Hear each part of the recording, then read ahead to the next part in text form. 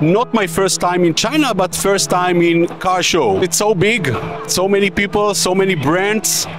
Chinese industry made a huge, a huge, a huge jump. You can see that uh, the Chinese brands looks better than all other international brands. Chinese is uh, capturing more and more market share in sales, and the EV cars become more and more popular.